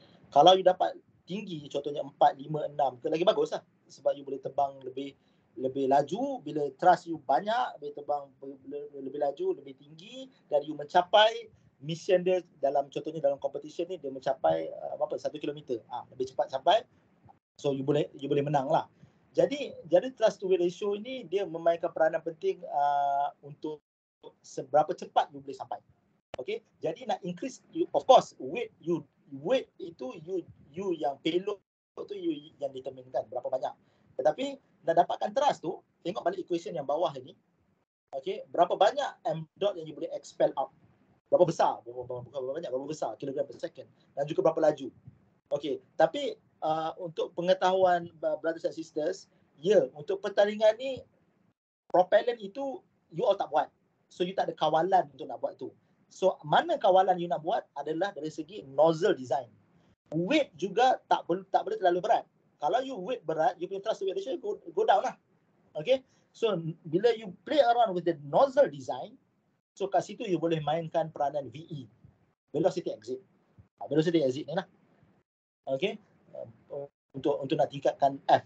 F ni adalah thrust lah. So thrust maknanya F divided by W lah. So itulah mainkan peranan. So dia kena balance lah, kena balance. Dan benda ini semua ada dalam software open uh, open rocket software. Dan benda ni you boleh predict berapa tinggi yang you boleh pergi ikut design you punya design. So sebab dia dia dia dia kait dia banyak berkaitan tau. Satu dia kait dengan apa yang berlaku dalaman ni, pembakaran dalaman ni. Nombor dua, dia juga, ni, ni trust ni trust semata-mata tau. Dia bukan net trust. Okay. Kedua adalah awak punya aerodynamic. Okay, aerodynamic awak ni. Kalau awak punya rocket ni terlalu gemuk, dia akan create drag. So F ni akan tolak dengan D. Drag. So awak tak, uh, uh, trust awak akan jadi berkurang. Nampak tak? So disebabkan propellant awak tak buat, awak hanya buat nozzle, so awak kawal apa yang berlaku dalam internal flow, Kemudian kedua adalah aerodynamics, the external flow. Okay, adakah dia perlu sharp, dia perlu tajam, ada berapa banyak fin. Ingat, fin fin juga awak kena design. Fin itu berapa banyak awak nak design? Empat ke, lima ke, enam ke. Lagi banyak fin, lagi bagus, lagi stable. Tetapi awak kena ingat, kalau you banyak sangat fin, ni fin ni kepak ni, ha, kepak ni. Okay, kalau awak banyak sangat fin, awak akan jadi lebih, lebih berat. Bila awak lagi, lagi berat, trust to weight ratio awak jadi lebih kurang lah. Nampak tak? Okay. Dan um, payload yang bawa dekat dalam ni termasuk avionics system, parachute system semua jangan terlalu berat. Jangan terlalu berat. Sebab dalam motor yang kita bagi tu nanti ataupun penganjur bagi tu nanti dia dah sebut sendiri dia punya specific impulse, dia dah spesifikkan. Ini adalah specific impulse dia, inilah banyak thrust dia. So awak kena design roket awak jangan lebih daripada thrust yang motor itu boleh supply. Nampak tak? Okay. So kena create uh, uh, apa ni nozzle yang yang yang betul, yang cantik yang boleh expandkan awak punya gas kepada thrust, kinetic dan juga dia punya drag tu awak kena kawal. Dari segi dari segi fin pula, berapa banyak fin yang awak nak gunakan, ada juga design yang menggunakan kanat. Kanat ni dia dekat wing dekat dekat depan ni. Okey. Untuk nak sampai sama juga untuk nak untuk nak seimbangkan uh, dia punya CP dengan CG. CP adalah center of pressure, CG adalah center of gravity. Dia ada value dia dalam dalam software tu nanti jangan lebih a certain amount supaya roket itu boleh menaik secara mendekat. Okay? Itu jawapan saya.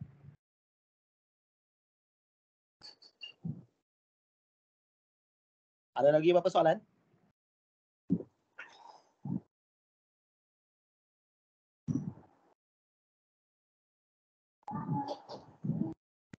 Jadi Uh, tidak Assalamualaikum Profesor. Ya, Waalaikumsalam. Uh, saya tanya uh, untuk competition tu nanti apa je yang pihak Hamrel akan sediakan untuk uh, partisipan? Apa yang apa? Apa yang pihak Hamrel akan sediakan untuk partisipan? Oh. Motor saja ataupun ada benda lain je? Motor yang disediakan tu solid propellant kan?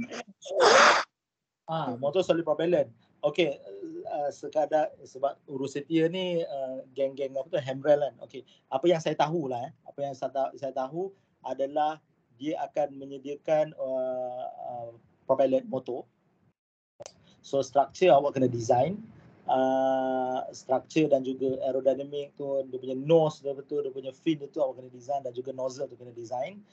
Dan juga macam mana awak nak uh, apa ni untuk nak hold motor tu dalam casing. Okey nak hold motor tu dalam casing. Sekejap eh. saya buka balik. Uh, hold motor tu dalam casing. So awak akan slotkan awak punya motor tu. Uh, motor tu saya pun propellant lah dalam ni So awak akan slotkan tu. So kat situ housing dia tu awak akan buat. Okay, housing tu akan buat. Okay, kemudian uh, untuk avionic system uh, seperti altimeter dan juga altimeter dan juga parachute untuk recovery. Okay, altimeter dan avionic, uh, avionic system itu untuk universiti uh, biasanya mereka pakai Arduino itu untuk sendiri uh, parachute pun uh, untuk uh, untuk deploy parachute pun juga sendiri if I'm not mistaken. So dia hanya provide motor. Okay, motor casing. Motor casing. Itu saja. Uh, nak guna nozzle tak guna nozzle it is up to the participant. Uh, kalau nak guna nozzle macam mana you nak masukkan di dalam ni. Itu untuk universiti. Untuk sekolah uh, saya rasa itu kena tak kena tanya balik kepada kepada urus setia yang uh, yang organize ni kan? kepada Hamral kan. Itu saja untuk jawapan saya. Terima kasih. Assalamualaikum. Salam. Uh, okay, saya Ismail daripada Hamel. Okey lah bang. Hmm. Okey untuk mak- uh, untuk bagi bagi universiti kami akan so complete head and nozzle. So uh, yang lain body cone tu semua universiti akan buat. Uh, parachute uh, kain parachute insyaAllah kita akan sediakan Oh, bagus. Jadi kena uh, jahit sendiri lah. Uh, and then uh, symmetry dengan injection system universiti kena buat sendiri lah. So sekolah kita akan provide semua. Melainkan minute kita akan ada kita akan uh, suara terputus-putus nanti uh, saya rasa urus setia boleh boleh senaraikan kot in writing kot apa yang kita apa yang you all sediakan dan juga partisipan kena buat. Tapi uh, saya saya nasihatkan kepada para peserta uh, untuk bengkel ini ada empat bengkel ini tolong tolong hadirkan diri uh, supaya awak tahu apa yang yang diberi dan tidak diberi. Okey. ada apa lagi soalan?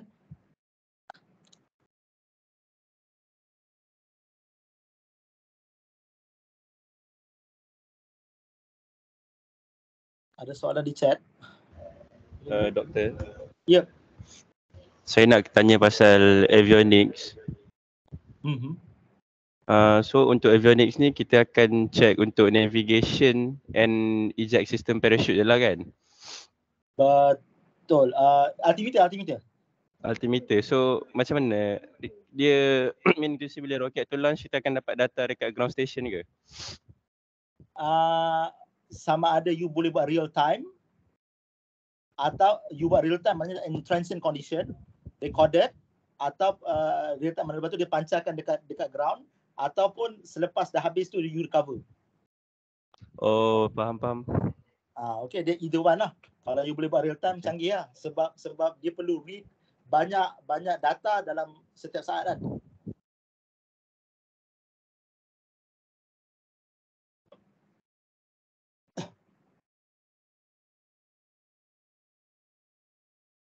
Tapi biasanya yang altimeter tu dalam dalam Arduino uh, student kami pernah pernah pernah buat. Dia cepatlah cuma you kena apa nama tu uh, dia punya apa nama data punya transmit tu dia kena lebih laju. Lebih laju dan banyak over second. Uh, itu yang masalah yang pernah kami buat lah okay, kalau real time tu agak mencabar. Tapi kalau yang kalau you dapat end tu towards the end tu uh, dah dah cukup dah memadai Tapi jangan risau, benda ni akan akan setiap workshop ni akan ajar satu persatu. Ini ini baru introduction. Minggu. Okay jelas doktor. Okey okey, terima kasih. Terima kasih.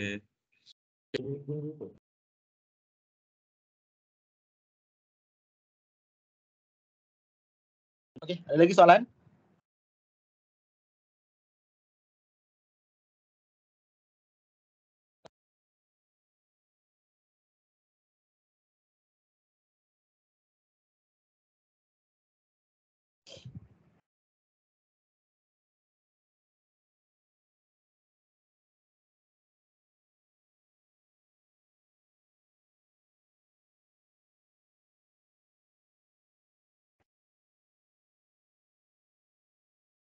Okey, saya bagi lagi satu minit. Uh, jadi 11.40 kalau tak ada apa-apa soalan kita boleh tamatkan kita punya workshop yang pertama untuk pertandingan uh, Malaysia Rocket Competition.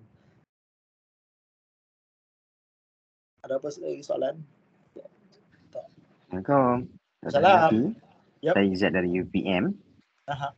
Ha, ha, ha. Saya nak tanyalah untuk uh, kompetisi ni kan. Jadinya uh, seperti mana telah dimaklumkan, uh, roket motor tu akan disediakan oleh pihak Hammerl lah, pihak organizer. Jadinya untuk pihak uh, sekolah dan universiti sedia maklum kita hanya menyediakan ataupun kita perlu membuat struktur roket saja. Jadinya um, soalan saya saya nak tanya untuk model roket yang akan diterbangkan tu setiap sekolah dan universiti hanya menyediakan satu model saja ataupun banyak kerana apa? Concern saya ialah kita akan membuat pertandingan roket which is kita akan melibatkan bahan bakaran lah, bahan terbakar. Jadi is there any like um, testing session. Maksudnya kita akan buat testing dulu satu dua sebelum kita go through to the real punya launching untuk dinilai. Jadinya pihak universiti dan sekolah boleh boleh boleh boleh cakna lah untuk menyediakan satu ataupun dua model, tiga model. Ha, itu saja hmm. saya tanyalah so, ha, sebab ha, menarik, menarik. Kalau kalau pihak Hemrel boleh bagi motor setiap setiap peserta tu dua motor kan. Satu untuk pertandingan, satu lagi untuk testing kan. Ah, betul. Betul. Tak, okay, ya, tak apa saya saya cadangkan kepada pihak Emerald kalau boleh bagilah dua motor. ah, sebab sebab jelas satu sebab benda tu nak fabricate tu agak costly juga tu. Ah, berbalik-balik kepada bajet. Ah, nombor dua bagi saya lah sebenarnya hmm, kalau nak propellant tu kalau nak boleh kalau you all nak test tu boleh test pakai sugar sebenarnya. Uh, tapi itulah uh, bila bila nak contohnya propellant tu kalau nak diajarkan memang benda tu tak adalah secret sangat. Boleh je ada ada je benda tu kat YouTube macam mana you want to nak bantu uh, sebitol ataupun uh, apa nama ni sebitol gula sugar base uh, uh, apa nama ni propellant. Ada je kat YouTube tu tak ada masalah tak ada apa-apa secret. Cuma yang kita buat ini dia bukan sugar, dia dia dia adalah Uh, bancuhan yang lain lah. Ya bancuhan yang lain menggunakan material lain. So kalau awak nak test sendiri pun boleh je pakai sugar base. Uh, boleh je pakai bancuh sendiri. Dia boleh dia macam masak sendiri je lah. Kalau you know, pihak universiti nak try. Saya rasa UPM uh, uh, uh, uh UPM ada apa nama ni orang yang boleh boleh bancuh fuel lo. Boleh tengok kat YouTube dan saya juga bagus cadangan tu saya akan cuba cadangkan kepada Hembel at least bagilah dua motor eh. Satu untuk test untuk pre pre launch satu lagi untuk launch. Okay? Alright? Ya tapi yang yang selebihnya kalau you nak banyak test untuk uh, ketahanan body dan juga nozzle tu saya rasa awak pakai sugar base tak apa pakai sugar base uh, punya punya punya punya motor. Boleh. Okay. Untuk nak banyak-banyak untuk setiap group saya rasa macam tak feasible lah kot. Sebab kalau tengok spaceport pun satu je kan. Okay. Dia dia tak ada dia test dia test dia test bukan uh, flight test tau. Dia flight test tak silap saya ada sekali saja. Tapi yang yang lain tu dia hanya buat structure test uh, structure test so maknanya kalau fiberglass awak tu uh, cukup ketahanan dia certain pressure certain pressure cukup enough okay Ah, dia macam tu. Kalau kalau tengok kalau tengok model ataupun cara spaceport buat lah. Ha, dia bukannya organizer bagi banyak tak tak tak. Kalau dua film pun saya rasa cukup memadai. Yang lain tu awak hanya boleh test sajalah di di di, di, di makmal sendiri.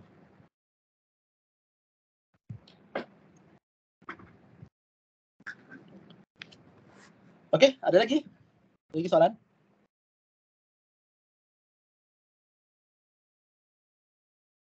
untuk untuk sesi uh, minggu depan, okey, untuk sesi minggu depan saya nak uh, umumkan juga di sini bahawa ada ada beberapa lagi tiga sesi yang agak penting untuk pertandingan. Pertama uh, rocket design okay, oleh Hemrel uh, Mr Amirul Amirul. So dia dia akan ajar participants how to design the rocket.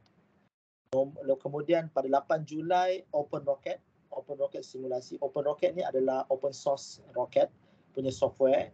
Uh, participant boleh download benda ni di di internet sendiri for free dan di situ dia tak dia tak dia tak dia tak sophisticated sangat tak kompleks sangat dia hanyalah apa nama ni by icon saja window saja okey untuk nak ni.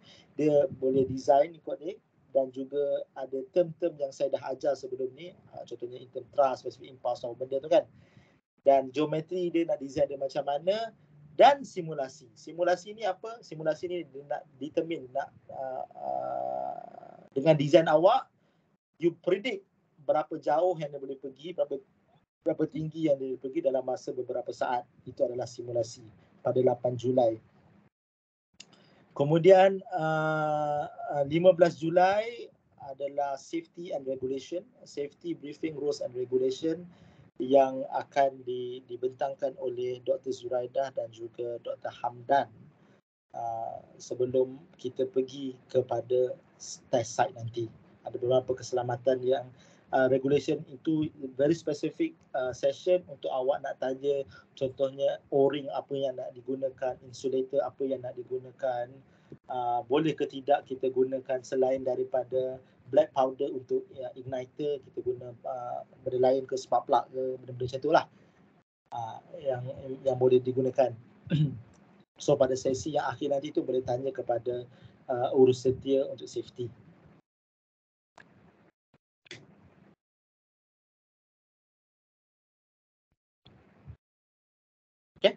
Ada tak ada lagi soalan? Tak ada.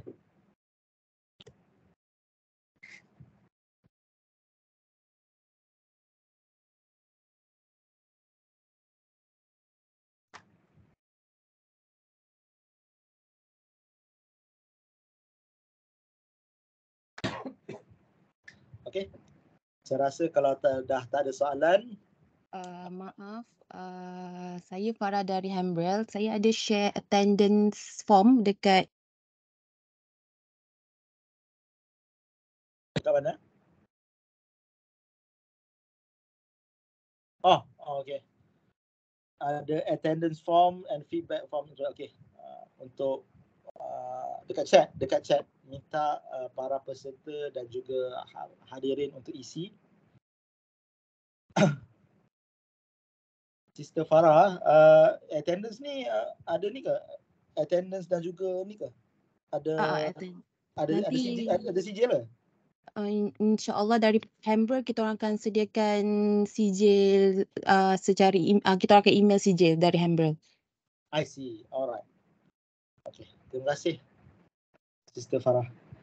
So bagi siapa yang nak dapatkan sijil uh, di, di digalakkan untuk nak isi Google Form ni eh.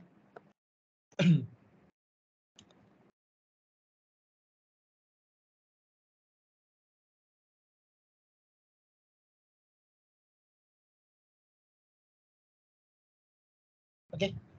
Ada apa lagi soalan? Lagi soalan? Ada tambahan daripada pihak setia? Kalau tak ada, kita boleh tangguhkan dulu workshop kita, bengkel kita pada pada hari ini.